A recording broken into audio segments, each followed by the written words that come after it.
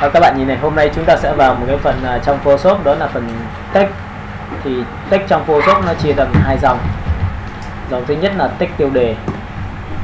Text tiêu đề. Ví dụ text tiêu đề là các bạn uh, là những cái text mà nó chỉ là cụm rất là ngắn. Ví dụ như là báo đàn ông báo phụ nữ hay cái gì đó hoặc là chương trình uh, ăn uống giảm ga. Ai quá đó. Đây có em đây có em đây. Anh đâu đi. Đấy thì các bạn nhìn này. Vậy thì cái text tiêu đề trong Photoshop thì các bạn cũng cần uh, lưu ý mấy cái việc như sau. Đó là khi chúng ta làm về chủ đề nào của cái uh, cái sản phẩm nào ấy thì các bạn nên trên mạng tìm cho tôi phông chữ của cái hãng đó. Ví dụ à, rất là đơn giản như này thôi. Chúng ta sẽ tìm ra một cái phiên bản đó là một cái à, kể cả trong Illustrator hay là trong Photoshop thì các bạn học đến đâu bạn làm về ngành nghề gì thì bạn sẽ chọn cái phông chữ theo ngành nghề đấy. Thứ nhất tất nhiên Photoshop là có một cái rất dở là cái việc chế dấu nó rất vất vả. Ví dụ phông chữ tiếng Anh thì rất là đẹp nhưng mỗi tội lại không có dấu. Còn phông chữ tiếng Việt thì đánh được dấu như này đếch đẹp. Nên chính vậy mà người ta phải toàn bộ là người ta làm cái chữ text chế dấu bên Illustrator người ta kéo sang Photoshop thì cái chữ đấy nó sẽ design nó sẽ tốt hơn là để em làm trực tiếp Photoshop bởi vì Photoshop nó không phải chương trình dành cho việc thiết kế chữ. Các bạn hiểu anh nha nhưng tôi vẫn muốn là các bạn đi theo đúng cái lộ trình như sau. Ví dụ bạn vào Google bạn search một cái à, phông chữ. Đây. À, chúng ta sẽ ghi là FONT ví dụ như là thời trang chẳng ví dụ như này và sau khi mà sốt xong thì các bạn sẽ thấy là ở đây nó sẽ có những cái phông cho các bạn. Ví dụ bạn làm về thời thời trang thì bạn phải sốt nhanh. Còn nếu mà bạn vào làm về mỹ phẩm thì bạn phải sốt là phông về mỹ phẩm, cosmetic gì đấy. Thì như vậy ấy, cái giá trị mà chúng ta dùng chữ nó đã hợp ngay rồi. Chứ không phải chúng ta dùng cái phông nó quá quen thuộc. Nhưng các bạn có thấy là dùng phông chữ bên Photoshop để đánh được tiếng Việt rất là vất vả. Đúng không ạ? Trừ trường hợp là một số phông nó hỗ trợ rồi tất nhiên bây giờ UTM thì là một trong những cái mà được được dùng nhiều nhất bởi vì phông trong UTM thì lại nó hơi rư rứa một số cái phông ở nước ngoài. Nên nó mới được dùng nhiều thôi. Các em hiểu không? Nhưng có những cái phông mà mình dùng đặc biệt thì chắc chắn là sẽ sẽ phải chế dấu hoàn toàn. Thì sau này sang phần input tôi sẽ dạy cho bạn chế dấu một cách đúng nghĩa.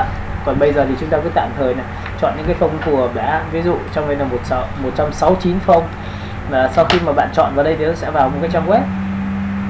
Bạn nhìn chưa tất nhiên là ờ, cái không phải phông nào chúng ta cũng dùng được. Các bạn hiểu không? À, chúng ta sẽ thấy một số cái phông ví dụ tôi thích cái phông này tôi ấn download và sau khi ấn vào download thì nó sẽ vào cái góc bên tay trái của các bạn này. Các bạn nhìn chưa? Nó chính là một cái tập đã được nén lại. Tại sao lại được nén lại? Bởi vì là khi nén lại như này thì cái giá trị của nó nó sẽ không bị virus. Có nghĩa là khi đóng lại gói trên trên mạng gửi cho nhau thì nó cũng yên tâm hơn. Các bạn hiểu không ạ? Còn có một số trường hợp là kể cả những cái bộ cài của bạn bạn gửi trên trên mạng thì bạn phải đóng gói lại bởi vì nếu không các bạn cài thì nó sẽ có file EXE thì ngay tức bên mạng hay hay diệt cái file EXE thì chúng ta sẽ rất là khó cài. Ok. Thì lúc này các bạn sẽ chuột phải và chúng ta sẽ hiển thị cái uh, hiển thị cái thư mục mà chúng ta đã đao về ấy, xem là nó nằm ở đâu. Đấy ví dụ như trong trường này thì tôi đao về tôi sẽ nằm ở đây này. Đây các bạn nhìn chỗ này ạ và chúng ta sẽ ấn vào Ctrl C cửa sổ D ra ngoài và chúng ta ấn vào Ctrl V. Thì phông chữ ra được nằm đây ạ. Với phông chữ này em chỉ cần chuột phải và attack nó ra, tức là giải nén nó ra để chúng ta sẽ làm thế nào? Đưa vào trong bộ C của chúng ta, đúng không ạ?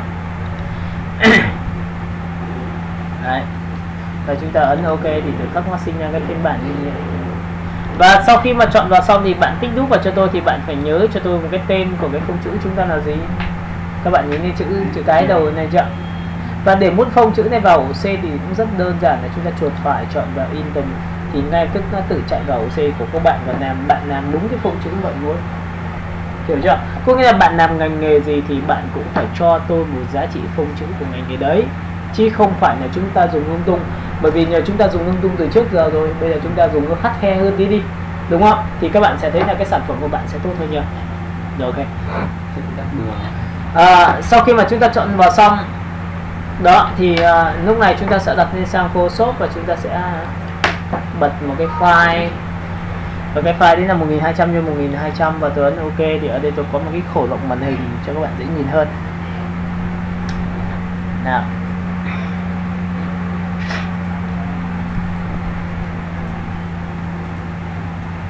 Đâu rồi. Đấy các bạn nhìn chưa? Và sau khi mà tôi làm xong này thì tôi tắt bò này đi. Tôi sẽ đặt cái vị trí này sang đây được chưa thì cái phông chữ khi mà làm thiết kế thì bạn phải luôn luôn đặt các giá trị như sau và tìm tất cả các cặp tương phản liên quan đến chữ. Các bạn ghi đi đặt tất cả các giá trị cặp tương phản liên quan đến chữ. Ví dụ, chúng ta search một cái chữ graphic như sau. Đây ạ. À. muốn dùng chữ chúng ta ấn vào phím T. Như vậy và sau khi ấn vào phím T xong thì chúng ta sẽ làm sao? Nhìn thấy cái này chưa? Nick vào đây một cái thì biểu, biểu tượng nó sẽ làm sao? Nhấp nháy. Đấy, các bạn nhìn nhấp nháy chưa? Đây nhá. Và sau khi mà đã chọn xong thì nó sẽ nhấp nháy như này nhìn chưa? Đó. thì chúng ta có thể đánh một cái chữ như sau rồi.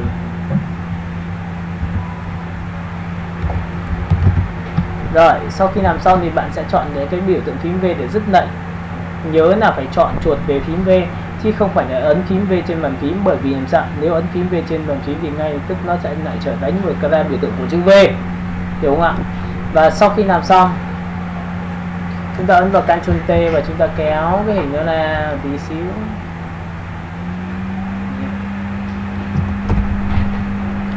Sau khi đã chọn lựa xong thì chúng ta sẽ kéo xuống phần phía giữa một tí xíu.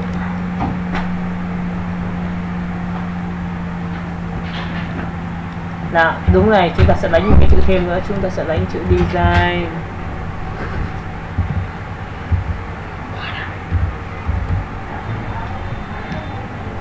Ok, sau khi mà chúng ta chọn xong này thì ở đây chữ chúng ta rất là bé. Các bạn nhìn chữ bé chưa chúng ta ấn vào Ctrl T và chúng ta theo cho to ra một tẹo nữa. Thì với cái giá trị này tôi sẽ cho các bạn xem là cái phông chữ chúng ta đang dùng đó là phông chữ nét dày nhìn là phông nét dày chưa?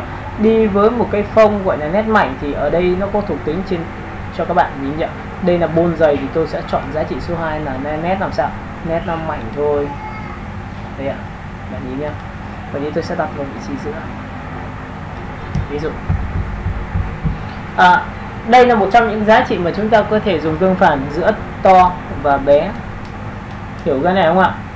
Thì giống như là giảm giá 30% đi thì giảm giá nhưng mà 30% thì phải rất là lớn nó nó sẽ có giá trị là gì? Tương phản giữa giữa to và bé đề to và bé. Và phần thứ hai là cái chế độ phông chữ là là dày và mảnh. Hiểu không ạ? Và thường thường chữ dưới thì tôi sẽ đặt bằng 1 phần 3 của chữ trên, hoặc là bằng 2 phần 3 của chữ trên. Đấy, nhá. Nguyên tắc, chúng ta tìm một từ cụm tương phản, chúng ta phải làm như thế đã học chữ cần gì phải quá đau siêu đâu. Chúng ta học những cái thứ mà nó vừa đủ đã chứ bây giờ bạn là em phải làm chữ cực kỳ chuyên nghiệp. Vậy thì bạn phải mất 5 năm, bạn ạ. Bạn mất 5 năm 10 năm sau bạn làm, lúc đấy không cần phải nói đâu. Bạn sẽ đạt cái ngưỡng là, ồ, ngon rồi. Nào. Vậy đi khi mà chúng ta thiết kế thì chúng ta cũng cần phải lưu ý cái việc này cho anh một tí là cái co giãn giữa các dòng trên và dòng dưới đừng bao giờ để quá xa. Ví dụ có những người để như này, thoáng, nhưng mỗi tội là nó không cấu trúc và không có sự liền mạch và không tạo ra một cái khối khỏe khỏe mạnh khi thiết kế.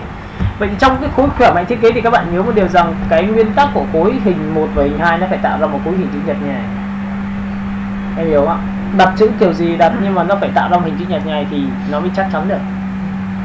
Hiểu không bởi vì vốn dĩ hồi xưa học về cơ sở tạo hình ấy, nó chính là cách xếp các hình lại với nhau nó có to nhỏ vừa nhưng sau đó người ta dùng to nhỏ vừa lên để người ta nhét cái chữ vào cái hình đó thì tự khắc nó đẹp thôi, bởi vì cái hình ấy nó nó khác nhau về hình tỷ tỷ lệ rồi. Rồi, ok. Sau khi làm xong chúng ta ấn vào Ctrl D. Thì cái hình này đang thiếu thì thường thường người ta hay có một cái giải pháp, cái này dành chữ trong logo thì người ta hay đặt một cái mép bên tay trái. Bạn nhìn chỗ này chưa đó. Sau đó người ta sẽ lập lên một layer mới và người ta thay đổi một cái màu. Ấn chữ shift u. Và người ta kéo màu đó sang bên tay phải cho các bạn. Nhìn nhá và chúng ta chữ design chúng ta sẽ là đấy, các bạn nhìn nhá đặt rất đơn giản. Nhưng nó tạo sự cân bằng, nhìn lên thành hình khối chưa?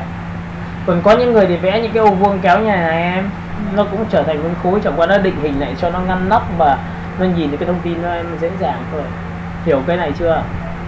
Thì đây là giá trị trong một phông thì bạn phải tìm ra giá trị về tương phản. Tương phản thứ hai là bạn có thể tương phản về màu. Ví dụ chữ design tôi ấn vào D thì trong nguyên tắc mà khi đổ màu cho cái chữ ấy người ta sẽ có một cái màu trên và màu dưới. Thì người ta dùng lệnh là Ctrl đen. Ctrl đen là đổ màu phía phía dưới là màu trắng. Còn an đen là đổ màu phía phía trên. À, thì có nhiều người bảo là anh ơi tại sao anh không dùng vào P rồi anh phải chọn vào đây? Vậy thì em có thấy nâu không ạ? Nâu đúng không? Em lại phải tích vào đây rồi em chọn màu em ấn ok. Thì cũng được thôi nhưng muốn tội lâu. Bây giờ tôi phải muốn đổ màu sao cho thật nhanh thì người ta dùng lệnh là Ctrl đen là đổ màu phía dưới và an đen là đổ màu phía trên. Đen đen te đấy. Hiểu cái nút đây chưa rồi ok ghi lại từ đó cho tôi cái.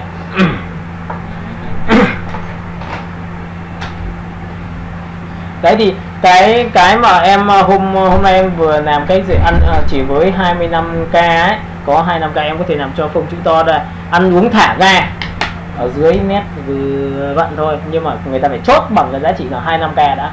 Người ta không biết thế nào người ta chưa biết nội dung ấy vì người ta phải để ý để ý về 25 k đã. Còn cái gì nữa lại để 25 k thế?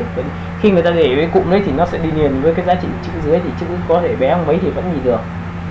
Em hiểu không sau này khi mà các bạn thiết kế ra những cái bộ về banner mà chạy quảng cáo trên Facebook Ads hoặc là AdWords thì cái AdWords nó có những cái banner còn bé xíu nhảy thì chữ của em kiểu gì cũng phải to để em nhìn được cái nội dung thông tin đấy là quan trọng nhất. Bởi vì nội dung tôi muốn là cái gì? Hiểu không ạ? Nó có bộ nó có mấy chục cái rồi chứ không phải là một cái rồi thì các bạn lưu lưu ý về ngày cho tôi nhá. Phần thứ hai người ta sẽ đi rỗng với đảo. Các bạn đã bao giờ biết chữ chữ mảng miếng là một màu và chữ hai người ta chỉ để viền đúng không ạ? À, thì đến cái phần này thì các bạn cần lưu ý như sau là trên những cái đối tượng nền rất là đơn giản thì tôi sẽ đặt một cái chữ nét bằng mảng thì như thế nó sẽ tập trung hơn. Ví dụ đằng dưới mà nó đơn giản quá thì mình đặt cái miếng màu. Còn nếu mà trên nền mà phức tạp thì bắt buộc tôi phải xử lý bằng nét, bởi vì không nó sẽ bị kích bố cục hoặc là bị bí bố cục. Hiểu không ạ? Vậy các bạn có thể ghi một số cái thao tác khi dùng chữ như sau. Đó là trên nền mà càng phức tạp bao nhiêu thì tôi sẽ dùng bằng nét. Như thế nó sẽ đơn giản về hình hơn. Vậy thì nét và mảng là một giá trị cặp tương phản mà. Em thấy đấy không ạ? Nên em có thấy là lúc mà anh vẽ cái ô vuông em xoay ra xong lại alpha xong rồi thỉnh thoảng anh lại chạy một cái nét không? Bởi vì đấy là tương phản đấy và trong cái cái mà nghiên, nghiên cứu về cơ sở tạo hình ở trong các trường về mỹ thuật thì các bạn có thấy rằng những cái nét ở gầm ở dưới thường thường là nét dày không? Bên trên thì nét mảnh dần. Thì như thế nó mới tạo độ khối em nhìn này đặt. À vậy đặt vậy thì có phải nét ở dưới đậm không? Vậy thì khi người ta dùng nét đậm và nét nhạt và độ dày của nó thôi cùng là một sắc độ màu đen nhưng tôi có thể vẽ được chân dung bạn mà có khối và tả được ánh sáng của bạn lý do? Bởi vì chúng ta hiểu cái nét nét nó kinh khủng đấy đấy. Hiểu cái này chưa? Rồi tiếp theo. Vậy trong trường này tôi chọn các chữ graphic tôi sẽ kéo ra một tí xíu cho các bạn. Không? Người ta có hai cách để biến cái này trở thành nét bằng cách đầu tiên là giữ phiếu Ctrl và tích thẳng vào layer thăm nổ thì các bạn sẽ có được cái giá trị. Các bạn nhìn có giá trị này chưa? Và sau khi có cái này xong thì tôi có thể được quyền lập thêm một layer mới và chọn công cụ M. Chuột phải chọn vào search trong và sau khi chọn chốc ấn là ok thì các bạn sẽ thấy là tôi đã có được một giá trị về về hình và tất nhiên tôi không dùng cái giá trị ở dưới nữa. Ở đây là chữ graphic. Nhưng chữ graphic này, bằng với bằng nét. Vậy thì người ta gọi là mảng đi với nét là một cặp mà. Em hiểu cái này chưa? Rồi, ok. Còn cách thứ hai, người ta sử dụng một cái chiêu thức như sau, đó là sử dụng về làm khối. Vậy tôi sẽ chọn cho nó cái này là gì một cái màu đỏ. Và bắt đầu tôi dùng thao tác như sau, tôi phóng to này.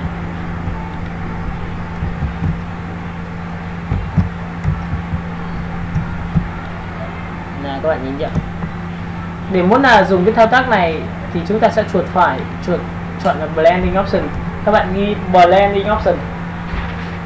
Là bảng quản lý toàn bộ hệ thống về, thứ nhất là bóng của đối tượng. Quản lý thứ hai là về khối của đối tượng và quản lý thứ ba là về viền của đối tượng. Và tất nhiên là xong đấy nó còn có cả cái giá trị đó là gradient của đối tượng nữa. Đấy, trong bảng blending option này là có nhiều thứ như thế. Cái này phục vụ để làm gì? Ở đấy, phục vụ cho việc mà bạn đặt sản phẩm. Bạn muốn có bóng không? Bạn muốn có viền hay không? Bạn muốn có cái gì đấy không thì tùy thuộc vào thẩm mỹ của các bạn.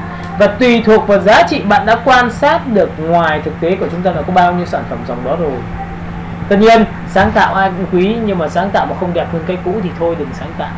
Đúng không chúng ta sáng tạo đó ôi, sáng tạo rất hay lắm, đẹp lắm. Em sáng tạo kinh khủng lắm nhưng đặt gần một cái thằng, nó có sẵn rồi, mình lại xấu hơn, nó quá nhiều độ thì thôi, ông ông vứt ra ngoài đi.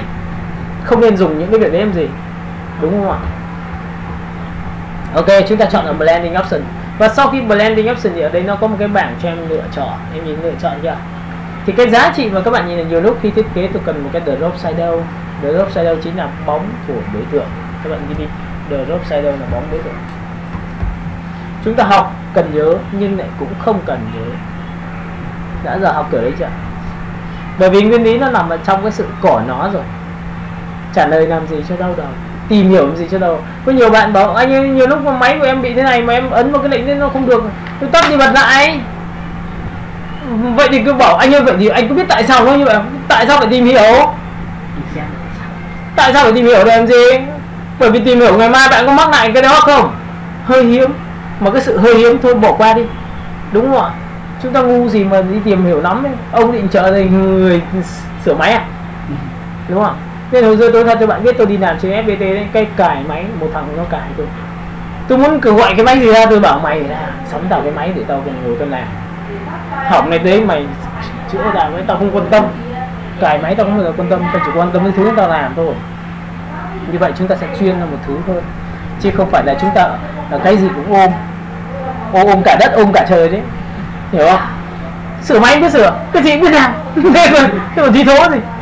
Như này vậy thì các bạn nhớ một điều rằng trong phần này ở đây nó có các biểu biểu tượng dấu tích ở phần đầu. Các bạn nhìn phần đầu chưa thì khi mà bạn tích vào phần đầu này nó chỉ có hiệu ứng thôi nhưng bạn muốn điều chỉnh được toàn bộ hệ thống thông số của nó thì bạn phải tích vào chữ cho tôi. Hiểu không ạ? Ấn vào đây một cái thì bạn nhìn có chữ drop shadow ạ?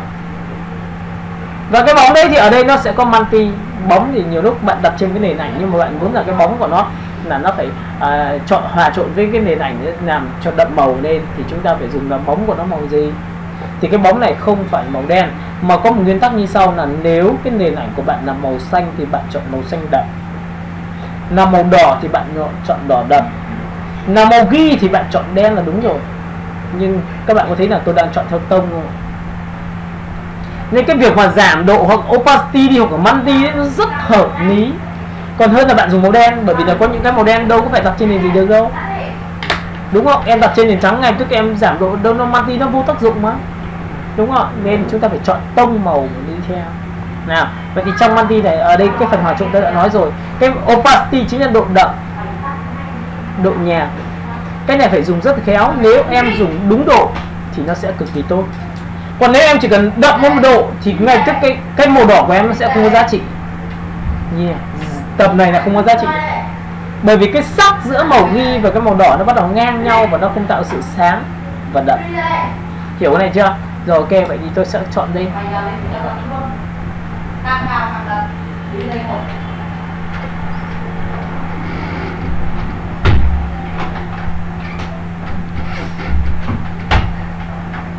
nào các bạn nhìn này. Vậy thì trong cái quy trình này đây là cái giá trị bóng của chúng ta sang trái sang phải. Chúng ta có thể kéo này thì nó sẽ sang trái kéo này sang phải và cứ kéo một vòng nó sẽ đi theo đúng một vòng cho các bạn lựa chọn. Các bạn hiểu cái này chưa? Ok. Cái um, distance là cái giá trị mà các bạn cũng cần lưu ý là cái giá trị độ xa gần của cái bóng so với cái hình. Ví dụ bạn đẩy nhai thì nó xa, bạn đẩy nhai thì nó sẽ lại gần của cái bóng bạn, đôi lúc cái bóng bạn bạn chỉ muốn hơi xô lệch một tẹo thôi. Thì bạn cho ngay giúp tôi, đúng không ạ? Hiểu chưa? Và phần thứ hai, nếu mà bạn chặn về không thì ngay tức nó sẽ trợ gì bóng ở giữa. Các bạn hiểu cái này chưa? Và cái bóng ở giữa ở đây nó sẽ có một cái size các bạn nhìn thấy cái size chưa size chính là độ nhòe của cái bóng. Là các bạn nhìn này. Vậy thì khi mà chúng ta dùng drop shadow thì ở đây là bóng giữa thì chúng ta có thể cho nó nhòe ra một chút xíu thì cái bóng nó sẽ như này. Các bạn nhìn chưa? Đó, vậy thì có những trường hợp này chúng ta dùng chữ trắng mà trên nền trắng thì chúng ta bắt buộc phải dùng chút xíu của cái bóng này để nó khẳng định cái màu trắng của chúng ta. Hoặc là chúng ta dùng chữ trắng trên nền sáng. Nó cũng tương tự như vậy. Tại vì chắc các bạn có thấy là nhiều lúc mà chúng ta dùng chữ trắng trên nền sáng không? Chứ không phải là nền sáng mà chúng ta dùng màu đậm nhé. Bởi vì dùng màu đậm đôi lúc nó hơi bị hơi bị thô. Bắt buộc chúng ta phải dùng cái màu rất nhẹ nhàng. Và dùng màu nhẹ nhàng ấy bắt buộc chúng ta một là cho viền trắng và hai là chúng ta sẽ cho một cái bóng ghi ở dưới đằng dưới thì nó sẽ rất là đẹp. Cái size chính là độ lan tỏa. À, tiếp theo cái quantity và công tua. Công tua chính là cái sự viền của đối tượng. Tôi sẽ kéo hết cỡ để cho các bạn xem. Đây viền lại sổ xuống. Chúng ta chọn vào đây. Bạn nhìn chưa? Ở đây sao? Nhìn chưa? Và tôi đẩy lệch ra cho bạn xem. Đấy bóng đấy nó tạo công tua vậy tất nhiên các bạn có thấy là nó tạo ra một hiệu ứng không cái này kiểu hiểu cái này chưa? Rồi ok. Và tất nhiên nếu không dùng nữa thì bạn bỏ cái này đi cho tôi. Đó là giá trị đầu tiên chúng ta làm được vấn này chưa? À, phần thứ hai nữa là chúng ta sẽ dùng một cái được gọi là hay dùng. Đấy là chính là phần gì? Stroke stroke chính là viền của đối tượng đúng không các bạn đi đi, vừa rồi tôi tạo viền nhưng mà bằng cách là quay trở lại vùng chọn sau đó chuột phải với công cụ M và chọn lần vào chốc, đúng không? Nhưng cái đấy lại có một cái là không điều chỉnh được, đúng không? Chỉ điều chỉnh lần đầu tiên thôi mà tôi lại không thay đổi thay đổi được. Còn cái này sao? Khi tôi chọn vào stroke xong, tôi có thể thay đổi nó là 3 có thể là 5 có thể là 10 hoặc có thể là một. Bởi vì chúng ta có thể được quyền thay đổi, bởi vì đây chính là bạn hiệu ứng đúng không lúc này, khi mà chúng ta chọn vào stroke xong thì nó mặc định cho các bạn giá trị đó là một, tôi sẽ để tăng giá trị to hơn gì đó các bạn nhìn này chưa? Và sau khi chọn xong thì tôi sẽ được quyền dùng cái chốc của chúng ta như này.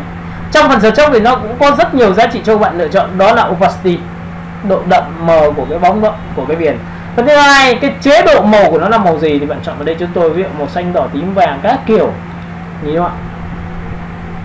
Rồi. À, tất nhiên tôi để màu đen. Cái style của nó có thể là một màu có thể là gradient có thể là chuyển màu cái vậy thì chúng ta có thể cho một cái chất liệu inox hoặc một chất liệu gì đó thì nó sẽ rất là dễ đẹp đúng không? Nếu mà tùy từng trường hợp. À, sổ xuống nữa thì chúng ta có pattern.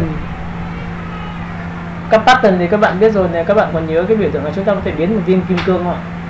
Ctrl A, Ctrl C và chúng ta biến nó trở thành pattern thì chúng ta có thể cho vào pattern ở đây thì nó sẽ áp vào bên trong của cái này này.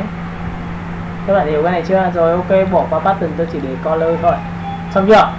Sau khi làm xong tôi ấn ok ở đây thì lúc này sau khi đến đây thì các bạn có thấy rằng cái đích của chúng ta là để viền chứ không phải để màu, đúng không? Nhìn xem chưa? Vậy để viền màu kiểu gì? Trong cái này thì ở đây tôi nói cho bạn biết là sự khác biệt giữa Inus Photoshop chính là phần phim. Và phần phim nó có tính năng là gì? Khi mà bạn giảm opacity đi thì nó chỉ làm sao? Trong mờ của đối tượng thôi, nhìn không nó giảm cả nét và cái màu bên trong là màu đỏ của các bạn, đúng không? Nhưng nếu mà chúng ta dùng phim thì câu chuyện rất khác, bởi vì chúng ta chỉ giảm được cái đối tượng bên trong thôi. Còn cái hiệu ứng mà chúng ta đang dùng giữ nguyên. Mà hiệu ứng chúng ta là hiệu ứng gì ạ? Là viền nè ok, vậy thì kéo đây nhá, vui cực luôn. Hình bên trong giữ vậy thì cái giá trị phim và giá trị opacity là sự khác nhau. Và phim và opacity là giá trị phân biệt giữa Photoshop và inut. Inut không có phim. Hiểu không? Xong chưa? Vậy thì các bạn biết tại sao mà chúng ta có viền đúng không? Và biết cách làm viền rồi đúng không ạ? Ok chúng ta sẽ ấn vào Alcan Z lại lần nữa. Nhưng mà cái này chỉ được trên nền trắng nó còn nếu mà nền màu thì nó- thoải mái nó thủng mà em. Ctrl O. Vậy thì chính vì vậy chúng ta sẽ chọn một cái hình. Đấy nói phải có hình nhưng không có hình này không được đúng không? Từ bên này. Cái này đặt trên bất cứ loại gì em ạ. Rồi chúng ta kéo xuống một tí xíu Ctrl A à, bật lên. Chúng ta ấn vào Ctrl A, Ctrl C và Ctrl V kép. Sau đó thì sang bên này background và chúng ta ấn vào Ctrl V nhìn không và chúng ta ấn vào Ctrl T và chúng ta sẽ phóng to nhìn này chưa? Thì cái opacity này của chúng ta có phải như này ha? Chúng ta chỉ cần kéo phim này. Nó thủng bên trong mà. Cô này em giảm toàn bộ giống nhân bên trong bằng không còn cái giá trị về nhân cái hiệu ứng thì lại giữ nguyên. Đấy thì đấy là phi nè à, vậy thì lợi dụng độc đà sông lên chúng ta sẽ làm thêm một giá trị nữa đó là gì? Chúng ta ấn vào chuột phải chọn the blending option. Và chúng ta bỏ giá trị về stroke đi. Lúc này các bạn có đồng ý tôi tôi nhân hai bản bằng căn gì không ạ? Nhìn này chưa? Với cái bản thứ hai tôi sẽ chuột phải chọn vào blending option. Thì trong phần bằng blending option thì em nhìn này ở đây nó có một cái giá trị mà các bạn không cần học mà nhớ hết được, đó là phần style. Các bạn ghi đi style chính là toàn bộ phong cách của blending option. Style là toàn bộ.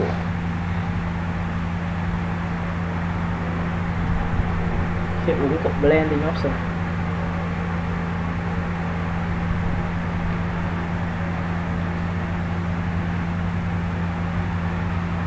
Xong chưa? Nào vậy thì nếu mà chúng ta muốn tìm hiểu toàn bộ hệ thống mà cái khối nó làm nên từ cái gì đó thì các bạn chỉ cần chọn vào đây giúp tôi tôi đoán style. Thì các bạn nhìn có hình này không ạ? Trong phần này chúng ta lấy đâu thì các bạn để ý cho tôi một thứ, đó là bánh xe. Sổ xuống. Từ đây cho đến đây là toàn bộ hiệu ứng của cái này. Thì trong trường hợp này thì trong cái phần web style nó có một cái gọi là chrome, là cái chữ mà chúng ta làm cho dạng kim loại. Thì cái kim loại này người ta có thể ứng dụng cho giá trị này em làm cho gì? Uh, poster về uh, club hoặc là em có thể làm cho ví dụ logo Toyota hay gì đấy chữ thì nó sẽ chất kim loại mà. Em chỉ cần ấn vào đây một cái thôi nhìn này. Muốn có hiệu ứng không tích một phát vào. Nhìn chưa? Và sau khi tích vào thì cái này mang hiệu ứng luôn. Đấy vậy thì cái này rất dễ là tích vào đây. Và sau khi tích xong thì bạn để ý sang trái cho tôi một tí xíu. Đó là ở toàn bộ tất cả những cái hình mà được tích tích tích tích tích này thì có nghĩa đấy là hiệu ứng làm lên cái khối này à và vậy thì sau khi này thì tôi sẽ làm sao? Tôi sẽ chọn được đó drop. Đâu thì các bạn tôi sẽ hiểu. À đây là bóng, tôi có thể cho nó dài ra tí được không ạ? À nếu mà tôi thích thì bỏ bóng luôn. Đúng chưa? Vậy thì em hiểu tại sao như vậy. Cái này rất dễ bởi vì cái này là khối đúng không? Bạn đẩy lên cao thì sao? Đép chính là độ gì? Nhìn chưa? Lồi lõm của khối đó. Ok. Style cao thấp. Bạn có hiểu cái này không ạ? Có nghĩa là em sẽ thể hiện là phát ra nó sẽ nằm đây ngay rồi em sẽ biết là có lý do tại sao và lần sau đấy là giá trị mà học. Không cần nhớ. Có sẵn. Và cái chiêu thức này không phải chiêu thức nào chúng ta cũng dùng. Và tôi sẽ tăng cái đét lên một tí. Tại sao tôi tăng đét thì ở đây nó sẽ có một phần phản quang dưới trong phần khối, nó gọi là sáng trong tối. Gọi là khu vực sáng trong nền tối. Thì cái khối này rất là tròn tuấn ok được không ạ thì sau khi ok thì các bạn có đồng ý tôi nó giảm phim thì có phải là nhân bỏ đi và nó giữ nguyên hiệu ứng nên là chữ của tôi sẽ là chữ gì? À, nhưng các bạn có thấy là giống như ông ạ? Nhựa rất trong trẻo không ạ? Nhưng khi tôi kéo ra thì nó trở thành gì? Em nhìn này có phải chữ dạng pha lê mà? Nhìn xuyên suốt này nhưng mà đấy đấy là một hiệu ứng này làm trong nước. Đúng rồi làm cho nước bởi vì em vẽ giọt nước thì nó làm đúng là giọt nước. Đúng chưa? Hiểu cái này chưa đã? Vậy thì blending option em có thể làm những cái điều mà tôi muốn nói. Xong chưa? Bây giờ chúng ta sẽ chuyển sang hệ thống chỉnh tự động. Các bạn ghi đi chỉnh màu tự động như sau. Lúc này tôi sẽ chia sẻ cho các bạn hai phần, đó là về chỉnh màu tự động. Tự động nó chỉ có ưu việt cho những giá trị nào? Các bạn chụp ảnh cùng một không gian và thời gian giống nhau. Ví dụ bạn chụp ảnh cưới thì các bạn tôi mang máy ảnh, tôi chụp hai đôi này từ sáng khi chụp chụp chụp chụp thì có phải là ảnh nó sẽ cùng thời gian và không gian không ạ? Nên màu ảnh nó sẽ giống nhau.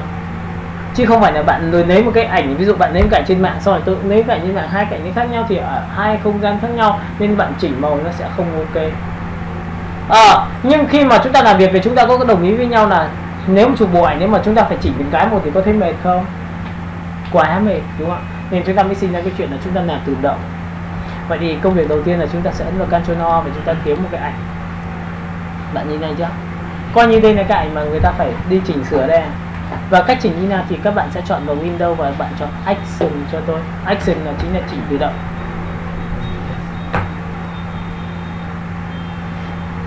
À, cái này các bạn lên trên mạng bạn chỉ cần ghi là action um, về blend màu. Thì nó một đống ngon mỗi tội là mình đếch hiểu còn cái này là mình làm ra, mình tự hiểu. Mà mình tự làm. Nên nó khác nhau chỉ dụ đấy thôi. Một thằng nó làm cho mình. Còn mình đây là mình làm, mình sẽ tự làm được không? Nên là nhiều lúc các bạn ra ngoài, cái quán là photoshop ấy, chúng là làm nháy nháy kinh khủng lắm. Nhưng mà thực ra nói thật với em, so trình độ bọn ấy thua em, bọn em xa nó có sẵn. Em hiểu không? Vậy thì chúng ta chọn action thì ở đây nó sẽ có biểu tượng cho các bạn. Và lúc này tôi sẽ bỏ một vài cái thao tác đi. Các bạn nhìn này chưa? Thì công việc đầu tiên mà tôi muốn chỉnh cái ảnh này nó đẹp thì tôi sẽ tạo ra một cái mới, đó là new action. Và sau khi new action thì tôi sẽ đặt tên là k k k. Và tên của nó sẽ là F2 các bạn tôi đặt là phím tắt là F2 thì là sau tôi chỉ cần mở cái ảnh đó F2 các bạn sẽ chạy lại như vậy, cho các bạn dễ nhìn hơn. Hiểu cái này chưa? Ok. Và sau khi chọn F2 xong thì bắt đầu tôi ấn vào recon là bắt đầu quay. Kiểu như là quay lại những cái bước mình làm đấy thì lần sau tí là tôi chọn ngành số 2 thì tôi chỉ cần ấn nút phát thì tất cả những bước tôi làm nó sẽ được áp dụng cho sang ảnh số 2 và số 3 có hiểu này không ạ? Cái này, ok. Vậy thì có nhìn lên đỏ chưa? Vậy thì việc đầu tiên tôi chọn vào image, tôi chọn adjustment và tôi chọn vào level, đúng không?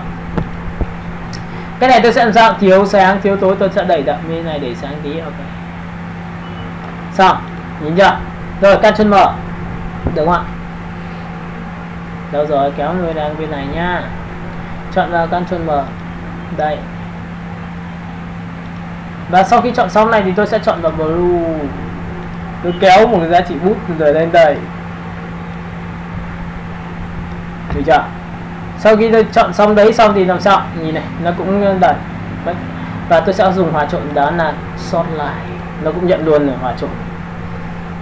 Nhìn đâu và sau khi em đã được cái giá trị này thì em có thể giảm cái phim đi để em sao nó nó phù hợp vừa phải sau đó tôi sẽ làm sao? Dừng lại. À, có nhiều người còn kinh khủng mức độ là người ta làm luôn cả phần xếp. Có nghĩa là em em xếp lại cũng là cái phần quay. Còn vậy thì xếp lại vậy thì khi mà xếp lại xong người ta còn ấn vào cả nút tắt nữa cơ mà. Vậy có nghĩa là khi là sau em mở cái ảnh em chỉ ấn mỗi nút F2 phát nó nó vừa làm cho em phát tự không tắt và xếp luôn vào ổ cho em. Nhưng như thế thì chúng ta lại không kiểm soát được. Nên thường thường tôi hay làm đến cái giai đoạn nào xếp thì tôi tự xếp bằng tay bởi vì nhiều lúc tôi còn phải nhìn được cái ảnh đấy là nó điều tiết nhào còn chỉnh lên chỉnh xuống nữa. Chứ không phải miến liền được. Đúng không ạ? Rồi. Vậy thì sau khi mà làm xong này thì chúng ta sẽ quay trở lại và chúng ta sẽ chọn một cảnh khác, đúng không ạ? Rồi. Control chúng ta sẽ chọn sang cảnh số 2 nhìn ảnh số 2 chưa? Với cảnh số 2 này, đúng không ạ? Bạn nhìn chưa? Tôi chỉ cần ấn mỗi gì? F2 đúng không nhìn này. F2 này. Nó tự chỉnh cho chúng ta không phải làm nữa. Đúng không? Control chúng ta chọn cái ảnh khác. Nói chung là cái gì cũng tự làm hết yeah. đây F2 đây là một cảnh mới trong bộ nó còn gì nữa? F2 thế ra rồi còn gì phải làm nữa đâu. Vậy thì có phải là những cái action này là những cái mà chúng ta tự tạo ra không ạ? Hiểu Để- chưa? để chỉ trong bộ ấy ấy thì anh đã nói với em nó chỉ có tác dụng cho những đối tượng ảnh chụp cùng một thời gian không gian. Chứ bây giờ nhá bây giờ em, em chỉnh cái này bây giờ em có cảm nhận nó rất là vừa đúng không? Ví dụ như thế. Nhưng bây giờ lại có một cái ảnh nó đã đẹp sẵn rồi. Em lại chỉnh cái này thì có phải nó bị quá độ không ạ? Nó giống như em neo để đỉnh dốc thì không? Tôi em tụt dốc xuống rồi đã. Bởi vì cái thằng này ví dụ cái ảnh xấu mà thì neo đúng mình chỉnh này đúng lên đỉnh đỉnh đỉnh dốc rồi. Nhưng cái ông này ông là nâng chừng rồi. Chỉnh với thông số như vậy thì ông vọt qua đỉnh lúc ông mới xuống thì nó lại bị xấu đi bởi vì ảnh nó bị sáng quá. Đúng không? Hiểu cái này chưa nên cái này sẽ áp dụng cho việc mà em làm nhanh nên là tôi đặt các thông số để cho nó nhanh nhanh thôi ạ. hiểu cái này chưa? Rồi, cách thứ hai tôi sẽ dạy cho bạn chưa thức nữa, đó là gì? Tôi cũng đã lưu cái này vào đâu ăn can z nè. nhí nhá. Rồi, đây ảnh này mờ chưa rồi, tôi tắt bỏ cái này đi được không tôi sẽ dạy bạn chiêu thức thứ hai, đó là tận dụng blend màu của thằng ảnh một mà áp dụng cho blend màu của ảnh hai như sau em ghi đi, cách làm, ứng dụng blend màu. Từ ảnh một, chuyển sang blend màu cho ảnh hai. Nhìn nhé lúc này tôi chọn vào image. Tôi chọn adjustment và tôi chọn vào biểu tượng đó là chỉnh màu, đúng không ạ? Và với chỉnh màu này thì tôi cũng chọn một cái biểu tượng là bút màu xanh. Và tôi kéo từ trái qua phải như này, đúng không ạ? Và sau khi chỉnh xong thì tôi sẽ làm sao? Tôi dùng giá trị đó là sunlight sau khi dùng sunlight xong thì các bạn sẽ thấy là màu khá là đẹp. Nhìn không màu xanh thắm. Và tôi sẽ ấn vào biểu tượng này, tôi dùng công cụ đó là Ctrl G. Nhìn Ctrl G chứ thì trong cái group này tôi chỉ có một cái phần chỉnh màu đó, cho chính ảnh này đúng không? Xong chưa? Thì lúc này tôi bật một cái ảnh số 2 sang nhìn nha tôi bật ảnh số 2 thì đây có phải là ảnh số 2 nó hơi khác biệt không? Nó khác so ảnh một không em? Số 1 số 2 vậy tôi muốn chỉnh rằng là cái ảnh số 1 này giống hệt như ảnh số 2 thì làm cách nào bây giờ? Thì ở đây người ta có một chiêu thức khá là thú vị. Đó là bạn chọn vào biểu tượng, nhìn menu chưa? Nhìn cái menu trong đây thôi chưa? Sổ xuống. Ở đây nó có duplicate group. Nhìn duplicate group chưa?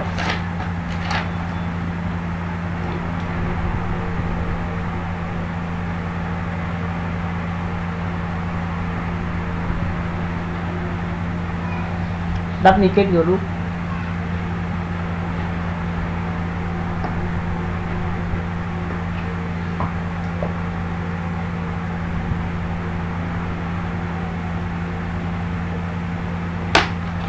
và sau khi mà chọn vào duplicate group thì các bạn sẽ nhìn này ở đây nó sẽ nhân bản.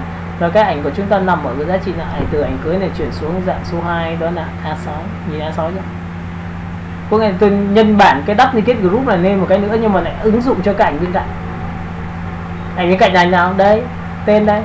Nhìn chưa? Và Tuấn, ok được không ạ?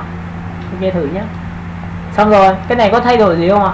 Không, bởi vì đây là ảnh mà tôi nhân bản mà. Nhưng cái này nó có thay đổi này. Nhìn đây. Màu giống như cái cũ không?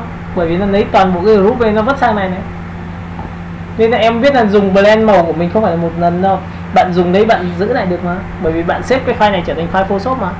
Thì lần sau chúng ta chỉ cần chuột phải đắp như kết mang cả cái group đấy vứt sang cho thằng khác. Là xong rồi. Vậy thì có vẻ mất công chỉnh màu không ạ? Hiểu cái này chưa? Cái này làm rất là công nghiệp, nhưng cái này rất hay chỗ là chúng ta vẫn điều chỉnh được thông số. Đúng không? Tích giúp được không? Đúng chưa? Hiểu cái này chưa? Đấy thì em có thể hai cái tông màu giống nhau chưa? Cùng một bộ mà ok vậy thì sau khi mà các bạn đã hiểu về thuộc tính đấy thì bây giờ chúng ta tiếp tục chọn những giá trị tiếp theo nữa. Đó là về làm về tiếp theo một chút xíu về chữ. Chúng ta sẽ chọn vào chữ này. Tích vào đây. Chúng ta lấy một cái chữ. Trong phần chữ của chúng ta nó có một cái chiêu thức đó là gì? Chúng ta sẽ chọn uh, t. Chúng ta sẽ chọn một màu trắng. À, chúng ta chọn một cái phông chữ bôn đậm được chưa?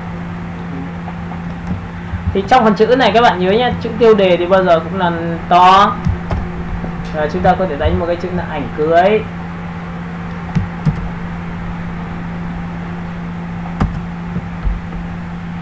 Chưa?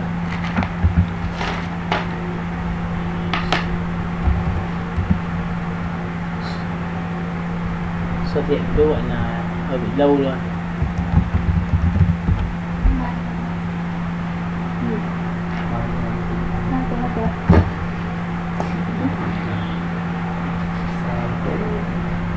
Đó thì à, sau khi mà tôi chọn ảnh cưới xong thì tôi sẽ làm sao? Tôi sẽ cầm đối tượng tôi đặt vào đây chẳng hạn. Các bạn nhìn này chưa? Đấy. À, trong phần ảnh cưới thì các bạn nhớ một điều rằng là tôi sẽ chọn vào uh, giá trị muốn thay phông chữ thì các bạn chỉ cần uh, tích vào đây một cái nhìn chưa? Ấn nút lên trên và xuống dưới bàn phím để tự khắc nó sẽ làm sao? Nó thay đổi cho em. Em nhìn không em nhìn này chưa chứ tôi không bao giờ chọn là thay thay ảnh cưới bằng cách tôi tích vào đây. Và tôi sổ xuống được sẽ, này, thì nó sẽ rất là khó nhìn. Em hiểu cái này chưa? Đấy phông chữ. Và tôi sẽ đặt, tôi kéo to lên tí xíu. Trời ạ. Vậy thì chữ trắng thì nền trắng mà muốn sắc nét thêm độ nữa thì các bạn có thấy là đồng ý với tôi là tôi chuột phải chọn blending option và chọn vào drop shadow nhìn này drop shadow chưa nhìn có bóng chưa? Và cái bóng này tôi sẽ đẩy sát làm tẹo. Cái này là đủ rồi đấy, nhìn chưa? Khác như này, nó sẽ sắc nét với cái ảnh cưới của em. Tuy rằng trên nền trắng nhưng có màu đậm nên nó sẽ khẳng định được đối tượng của chúng ta vừa nào xong chưa? Tệ vậy thì biết cách thay đổi đúng không ạ? Chữ không bao giờ được dùng với nguyên tắc đó là năn. Bởi vì là khi dùng năn thì em sẽ thấy là chữ nó sẽ bị vỡ hình, răng cưa. Đấy trong trong uh, về website mà các bạn thiết kế như thế thì nó sẽ rất là mệt mỏi. Nó bị vỡ hình không? Nhìn phóng to. Đấy bị răng cưa chưa? Đấy thì lúc này khi mà dùng chữ thì các bạn nên chọn cho tôi chữ đó là nét shape thì tự khắc này thì nó sẽ rất là mềm mại trong quy trình việc là các bạn làm thiết kế tiếp theo trong phần chữ chúng ta sẽ có căn trái căn phải. Thì đối với căn phải căn trái hoặc là căn này thì người ta sẽ dùng text của là text văn bản. Và text văn bản thì thường thường người ta vẽ phải rác qua một cái vùng và copy từ text từ nội dung khách hàng vào đây. Các bạn hiểu cái này chưa? Và tất nhiên chúng ta ấn vào. Đánh chữ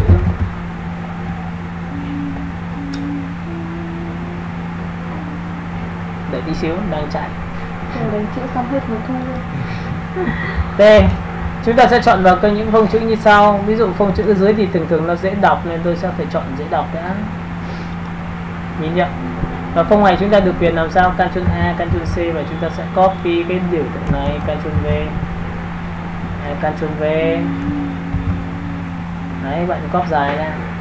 Ctrl V Ctrl V. Đấy, copy mấy phát cho nó dài đấy thì text này gọi là text văn văn bản phải được đánh trong khung bởi vì nếu không đánh trong văn bản thì các bạn xuống dòng lên dòng rất là mệt hiểu không ạ? Và phần thứ hai trong text này nó cũng có một cái chiêu thức rất là hay nữa là các bạn chọn vào paragraph chính cái bảng màu này thì nó sẽ có nặng lệnh cắt đều. Con đều là dàn chữ làm sao cho đều giống như quyển sách ấy, thì bạn có thể dùng chiêu thức này rất là ổn. Xong chưa? Tiếp theo. Ở trong phần chữ thì chúng ta cũng có cái hiệu ứng. Ví dụ trong ảnh cưới này tôi ấn vào đây thì các bạn nhìn lên này hiệu ứng nhỉ tôi tích vào đây một cái thì các bạn sẽ sổ xuống và tôi chọn ở đây là bẻ cong. Nhưng cái phần vẻ cong này cũng phải rất là thù bởi vì không phải cái nào cũng đẹp dùng này là khó nhất. Tôi thật cho bạn như dùng chữ làm bẻ cong là khó nhất. Bởi vì dùng đẹp khó lắm. Trừ trường hợp em thiết kế một cái nhãn chai rượu á thì cần một cái chữ bẻ cong thôi. Còn bình thường em bẻ cong mà em không sắp xếp nó hợp lý thì trông buồn cười. Nó không ăn được vào cái miếng của em được. Nhá. Thì các bạn để ý cho tôi mấy cái thứ như vậy. À, tiếp theo tôi sẽ nói cho bạn là chữ đánh theo đường dẫn. Các bạn ghi đi chữ đánh theo đường dẫn.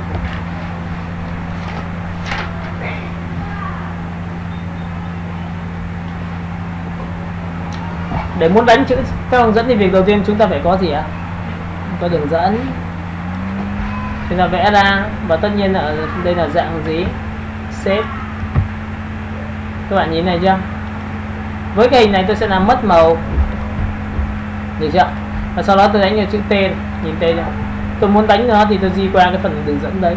Tôi tích vào đây thì sau khi tích xong thì tôi sẽ gõ cộng hòa xã hội chủ nghĩa Việt Nam đồng là tự do hạnh phúc. Nhưng nó sẽ không bao giờ bằng những chương trình khác được bởi vì nó không phải sinh ra để việc vẽ nhạc. Tất nhiên nó vẫn có thể làm gì? Em có thể nhìn thấy chữ là chúng ta vẫn đánh được theo đường dẫn nhá, vẫn cua theo hình tròn chưa vẫn có thể vẽ theo đường sóng không ạ? Làm chưa? Rồi. Và cái này nó có một cái là chữ ngược kim đồng hồ và theo kim đồng hồ bằng công cụ phím ma. Bạn phải trở về công cụ phím ma gì không thì cái cục phím phí ma nó có một cái nữa là các bạn nhìn cầm, tôi kéo vào trong. Kéo vào trong thì nó lại sẽ làm sao? Thì có phải ngược kim đồng hồ không? Còn khi bạn cầm chữ này, để ra ngoài cần chữ Z lại đây, các bạn nhìn này chưa? Kéo ra ngoài thì lại theo lại đi ra ngoài bạn ngược theo kim đồng hồ hoặc là xuôi theo kim đồng hồ. Đó. Thì chữ nó chỉ có mấy chiêu thức đấy thôi. Xong. Bây giờ chúng ta tiếp tục chọn đến một giá trị tiếp theo nữa trong phần chữ của chúng ta. Thì ở đây nó có một loại chữ nữa là chữ đây có bốn loại nhưng thực chất đây là chữ đánh theo chiều ngang còn đây là đánh chữ theo thư pháp. Bạn gõ vào đây bạn đánh này thì chữ nó sẽ chạy theo chiều dọc. Nhìn chưa ở một số cái quyển album đấy người ta hay vẽ kiểu này chữ đánh theo chiều dọc này. Nhưng cái này ứng dụng không cao, nên các bạn có thể biết thôi. Còn cái việc tham khảo thì cũng không nên tham khảo nhiều quá. Còn hai phần chữ dưới thì là chữ đánh theo ra vùng chọn, có nghĩa là khi bạn gõ làm một cái gì, giá trị nhảy. Bạn gõ chữ g thì nó nền nó màu đỏ nhưng mà nhưng sau khi bạn kết thúc lệnh xong thì nó lại trở ra cái gì? Vùng chọn của cái chữ đó nhưng chỉ đánh vào vùng chọn thôi, vậy thì thà rằng tôi vẽ vùng chọn à, tôi vẽ chữ xong rồi tôi dùng căn tôi quay trở lại thì cũng thế mà. Đúng không? Thì nó sẽ nhanh hơn đi chữ g này. Các bạn nhìn chữ g chưa? Rồi Ctrl D. Nào, vậy đi sau khi mà đã hiểu toàn bộ những cái giá trị đấy thì bây giờ chúng ta sẽ vào một cái lệnh nữa. Đó là lệnh làm gì ạ? Làm ảnh động. Các bạn ghi cách nào ảnh động là sao? Lúc này tôi sẽ có một cái giá trị là các bạn nhìn thấy ảnh cưới chưa? Tôi sẽ F7 tôi sẽ nhân bản cái ảnh cưới lên làm hai. Nhìn ảnh cưới làm hai chưa? Và cái giá trị này tôi sẽ dùng lệnh ăn ăn đen thì có phải nó sẽ có cái màu đỏ trên màu gì? Màu trắng chưa? Rồi, đặt hai này để tôi bắt đầu làm ảnh động nhé. Cũng như là cái này nó phục vụ cho việc em làm ảnh clip động để phục vụ cho website. Tôi sẽ chọn vào Windows và tôi chọn vào timeline. Timeline là bảng điều khiển hệ thống gì? À, về thời gian của chuyển động đó thì em chọn cái này giúp tôi.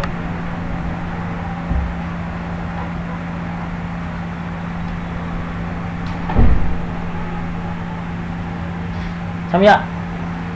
Nào sau khi tôi chọn timeline xong thì ở đây nó sẽ ra một cái bảng cho các bạn lựa chọn. Nhìn bảng này chưa? Thì lúc này chúng ta sẽ có chiêu thức như sau F7 chúng ta sẽ đẩy sang cái này một tí nhé rồi bây giờ thì các bạn nhìn cái biểu tượng này đúng không ạ. Đâu rồi, tự nhiên cú đơ này.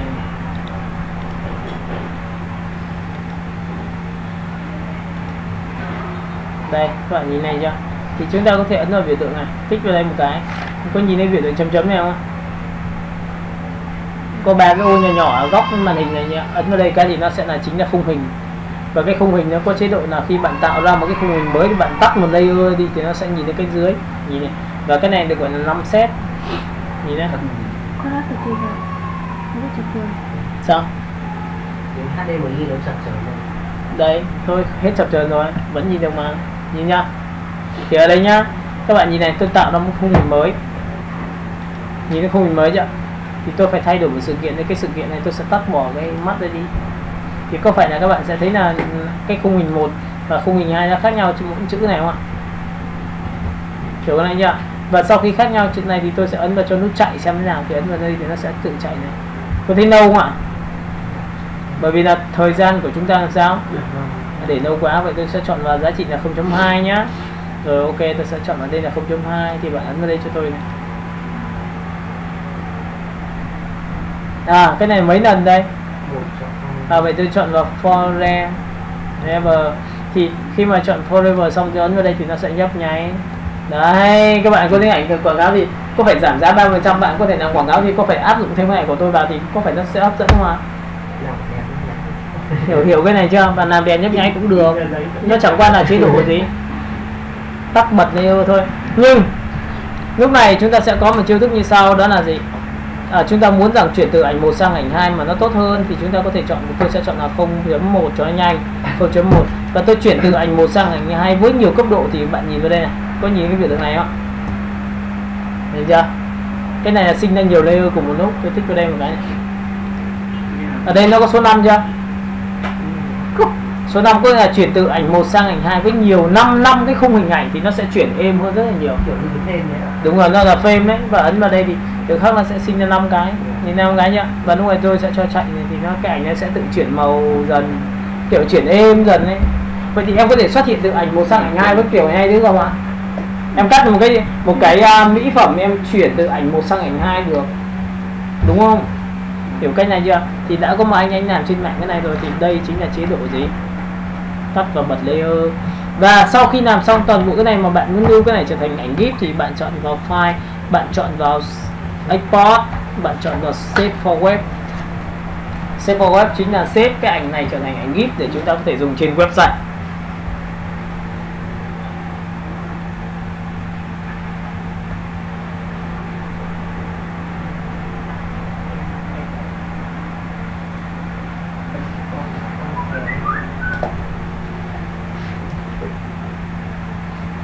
nào vậy thì sau khi mà các bạn chọn vào đây xong thì ở đây nó sẽ sinh ra một cái bảng. Và cái bảng đầu tiên là chúng ta có thể ảnh để ảnh GIF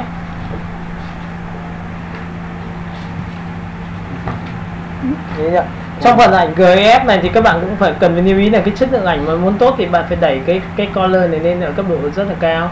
256 màu thì màu nó mới được nhai còn nếu mà bạn muốn giảm nhẹ thì bạn chỉ cần đặt nhẹ thôi. Chất lượng màu ảnh sẽ bị mất mất này. Nhìn nhá hiểu này chưa? Nhưng cái biến mất này của em rất hay bởi vì nó sẽ tạo ra tính chấn gram. Ảnh kiểu chấm chấm chấm gram em. À, sổ xuống chúng ta chọn 256 màu. Và sau khi 56 màu thì bạn sẽ xếp lại cho tôi. Ở đây nó sẽ có những giá trị như sau là bạn đánh tên. Phần thứ hai mình đánh cái image only. Image only là cái giá trị là xuất ra một cái file ảnh và chỉ có cái ảnh gif thôi. Mình không phải xuất ra html nữa kiểu này không ạ? Rồi thì bạn nhìn này sau khi xếp xong thì tôi sẽ chọn vào cái chỉ desktop và tôi ấn vào save. Và sau khi xếp xong thì bạn sẽ cửa sổ đi ra ngoài thì ở đây nó có một cái uh, chắc là cái này. Đấy là không mà. ở đây. Chắc là ông này không biết nó có chuyển động. Tại vì là nó phải đẩy lên trên mạng cơ đấy hy vọng nó chạy. Đấy. Nhá nhảy chưa? Cái này mà lưu lấy dạng JPG có được? JPG thì không chạy được bởi vì cái này nó phải là ảnh GIF ảnh GIF động hồi xưa mà. Chứ còn thực chất nha sau này khi mà sau khi cái kết thúc Photoshop này các bạn phải làm cho tôi một cái như này này. À, các bạn phải làm cho tôi một trang web rất là kỹ trình bày. Có nghĩa mình phải chép nhiều sản phẩm của website ấy bởi vì học về web thì bạn mới thấy rằng là chúng ta mới nặng cực kỳ nhiều về phần Photoshop. Web cái này là một cái đồ án mà tôi đã đã hỗ trợ cho một bạn. Bạn như nên làm chẳng à, ví dụ đây là trang chủ chẳng hạn thì nó phải là một cái file file Photoshop file xuất lại như file HTML của nó. Cái này nó có thể link ở các trang. Thì tôi sẽ bật cho bạn xem trước là đây là file ảnh nhá. Ôi, đơ thế. Enter tầm mấy ừ rồi. Sao đây nhảy như, như kiểu như đúng rồi đây hay cổng tivi sao Cầm TV đấy. Rồi. Cổng bên trên. Ờ, ấn bên trên cho anh em. Đấy ấn vào ấn chặt vào dần đấy Chật kìa. Lại, lại cười không không ngậm miệng rồi. Cắm lại dựng đứng. Ấy. đấy thì thì đây. Được rồi được buông ra buông ra. Rồi ok. Thôi rồi được. Giữ không được. Giữ giữ đi, cái đường đấy giữ đi. rồi ok các bạn nhìn này tôi sẽ cắm lại. Hy sinh với anh em được chưa? Thì bạn nhìn này ở đây ví dụ như người ta muốn làm sẽ trang web thì người ta phải làm thiết kế rất là full. Ừ đấy. Nhìn này. Cái này là tự vẽ nha cái này nhìn thấy cái này nha cái đường này chuyển động như tôi thêm cái đường này cho ai mà để nó cảm giác này nó giống như sơn nó chảy ra. Thì mình đây những cái này là mình làm. Ảnh ghim động đấy Đấy đúng là nó đang động rồi. Đang ghi đấy. Em nhớ nhảy. bạn nhìn nhá ừ nhỉ Hai người áp dụng một cân kìa. Sở áp TV đấy rồi. định cũng bị chậm chạp đó các bạn nhìn nhá Ồ, có biến có biến sao lại này như thế nhỉ Tắt TV sao?